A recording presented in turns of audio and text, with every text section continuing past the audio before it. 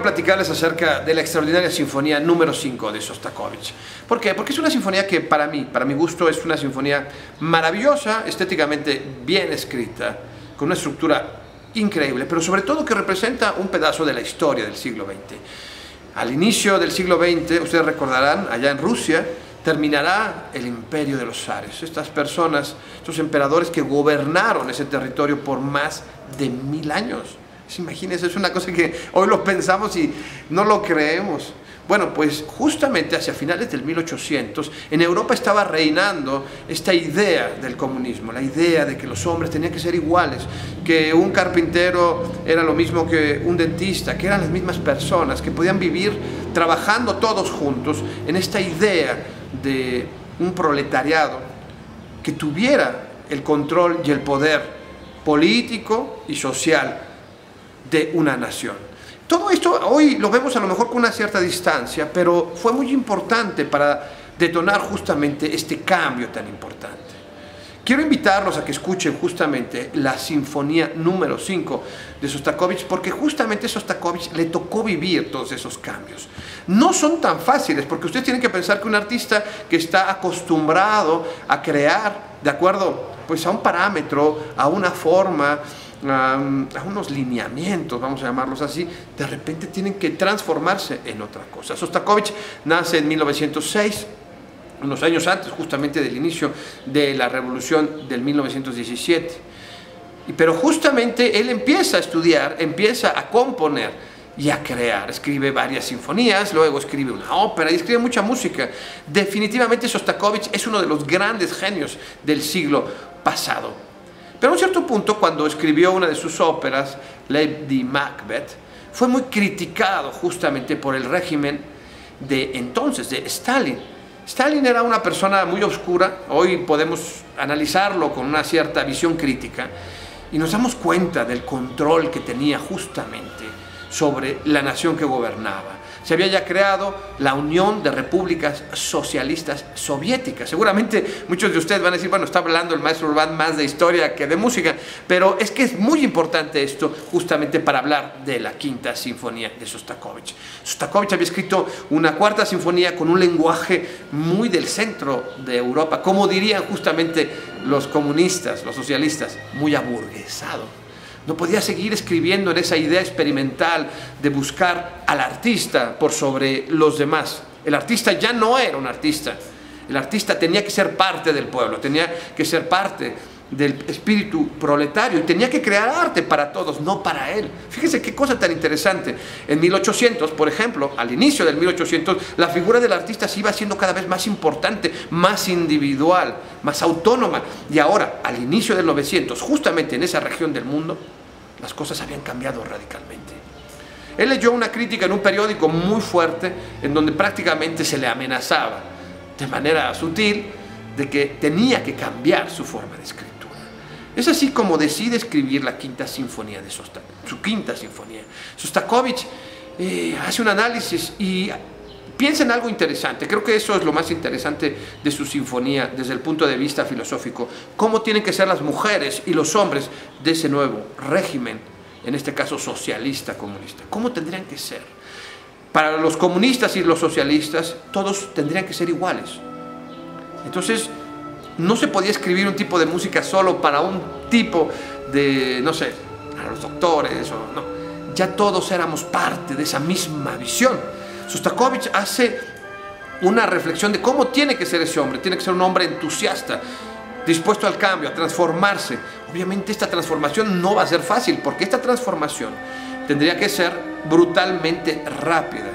Imagínense, en cinco años pasar de tener un zar a tener un dictador comunista. O sea, es una cosa que podría parecerse, pero en realidad como principios es completamente opuesta. Bueno, pues él hace esta sinfonía, justamente su quinta sinfonía, pensando en eso. El primer movimiento justamente inicia con unos tonos verdaderamente trágicos y dramáticos. Parece que los sonidos se alargan, que nos estira el espíritu para intentar encontrar dentro de nosotros justamente ese nuevo ser.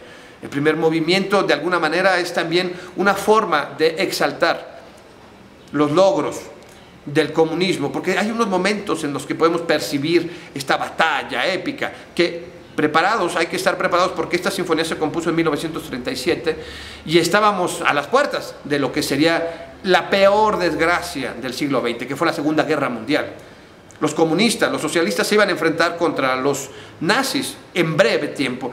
Y justamente en esta sinfonía ya querían dar este sentido de nación, de patriotismo, de nacionalismo. Y en este primer movimiento, justamente en esa transformación de este nuevo hombre, teníamos que crear un hombre dispuesto a combatir por su patria, por su nación. El segundo movimiento es un segundo movimiento que es más bien una especie de lander. Los landers son danzas ternarias, parecidos a los minuetos, a los valses, de alguna manera, pero transformado justamente en esta ironía muy característica de esta sinfonía de Sostakovich. A veces cuando la dirijo, me parece que no es solo una cuestión heroica, a veces me parece más una cuestión irónica, porque parece que él mismo como artista se está revelando ante esta imposición que se le hizo justamente para cambiar su forma de hacer. A esto se le llama inclusión forzada de algunos elementos ideológicos. Las ideologías obligan a incluir a los artistas elementos forzados dentro de su obra de arte. Y no solo le pasaba a Sostakovich, esto pasaba en la literatura, pasaba en la pintura, en la naciente cinematografía. Todos ellos tenían, estos artistas, que buscar esta inclusión forzada como para empezar a educar a las personas. Sin embargo, de alguna manera, al menos para mí, y en algunos casos me parece hasta un poco antinatural, porque no dejan crear la visión del artista de su presente de una manera objetiva y libre. Sin embargo, cuando un genio como Sostakovich enfrenta este reto, bueno, pues obviamente logra el objetivo. El segundo movimiento parece eso, parece esa forma de decirle, sí, yo quisiera escribir de una forma, lo puedo hacer, y de manera irónica, me revelo ante esto. El segundo movimiento nos deja un sabor de boca maravilloso, divertido, optimista, entusiasta, como lo quería justamente en ese tiempo el comunismo.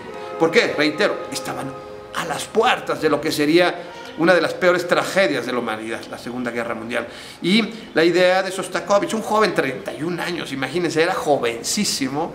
Bueno, pues él la idea que tenía era justamente de transmitir ese entusiasmo del ser, del humano, de las mujeres y de los hombres que muy prontamente tendrían que combatir a un enemigo que los invadiría y que probablemente en este caso los mataría.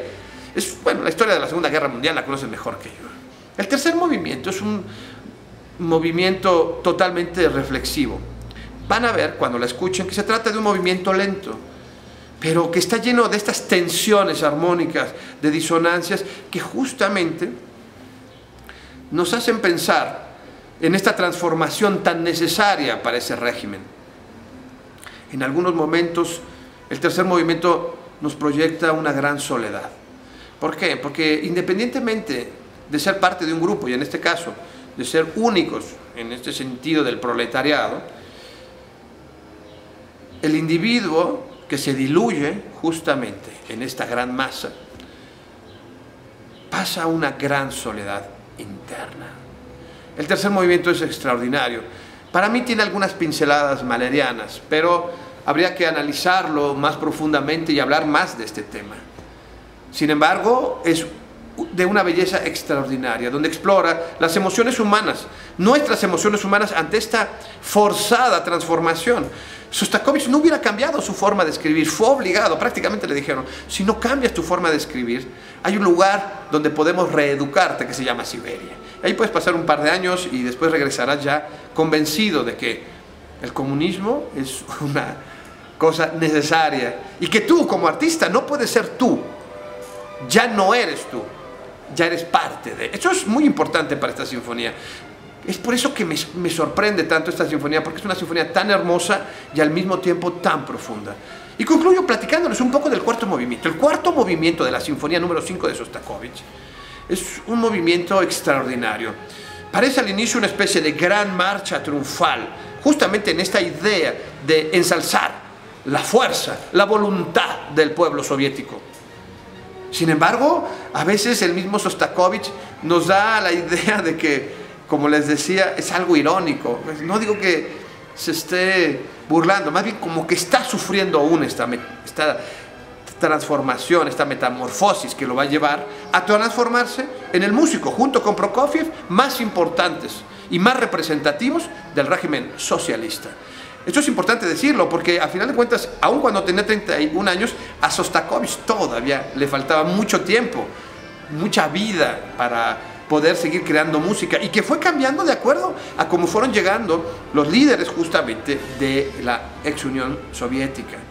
Y él, bueno, con su genialidad irá transformando también su música de manera extraordinaria. El cuarto movimiento inicia con esta extraordinaria marcha triunfal, a mí personalmente cuando la dirijo, más bien me parece una especie de marcha que lo condució, fue el que lo condujo justamente a esa transformación que él no quería. Es como cuando te van a llevar a, pues sí, cuando te van a llevar al lugar donde van a ejecutar, no sé cómo explicarlo. Es muy raro porque esta marcha es profunda, sí, es heroica, es fuerte, pero parece que llevan a alguien justamente al patíbulo de la transformación, en donde al final habrá un punto central de, la, de este cuarto movimiento en donde termina esta transformación, la transformación del hombre. Porque reitero, en esta idea, ellos creían y pensaron millones de personas que había que hacer un cambio radical. Hoy en día todavía existen países, países comunistas. ¿eh?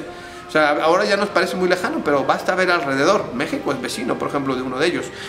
Este, esta idea de que los hombres que habitan ese, esa nación, las mujeres que habitan esa nación, tienen que tener características filosóficas y éticas distintas. Este cuarto movimiento justamente llega con esta marcha que les digo que parece más como una marcha de alguien que lleva a un preso justamente al patíbulo de la transformación y de ahí saldrá un nuevo. Esta sinfonía es maravillosa, es extraordinaria, tintes dramáticos, líricos, heroicos de soledad, de desesperanza, pero también de triunfalismo. Es por eso que tienen que escucharla este domingo los esperamos a la una de la tarde, domingo 9 de julio, en el Teatro Morelos. Vamos a estar tocando la Quinta Sinfonía de Sostakovich. No se la pueden perder, la entrada es completamente libre y gratuita, como cada uno de los conciertos de su orquesta, la Orquesta Filarmónica de Toluca. Es un concierto familiar para todos, vayan, asistan. El concierto es a la una de la tarde, no son necesarios boletos, no son necesarios ningún tipo de lista ni nada. También quiero hacer un agradecimiento muy importante. Estos conciertos se pueden realizar gracias a la colaboración de muchas personas que aman a la orquesta. Y hoy es día de agradecerles a cada uno de ellos. Queremos agradecer justamente al Colegio de Abogados, que ha sido un aliado extraordinario de la Orquesta Filarmónica de Toluca, también a la florería virtual Fiores. Cuando quieran regalar algo, siempre busquen a Fiores porque tiene los mejores arreglos. Y obviamente a nuestros queridos amigos de Viña, Concha y Toro, que siempre están con nosotros y nos llenan de alegría, pero también de regalos para todos ustedes. Gracias, Viña, Concha y Toro. Y ahora también queremos agradecer al Grupo Serva. El Grupo Serva se ha unido a los amigos, a los aliados de la ciudad, de la Orquesta Filarmónica de Toluca. Grupo Serva, expertos en el futuro, nos están acompañando y nos acompañarán. Grupo Serva, si no saben a veces en dónde tener, comprar un seguro o que alguien les aconseje acerca justamente del futuro, Grupo Serva es su opción. Amigos, muchísimas gracias por haber visto este video y nos vemos muy pronto.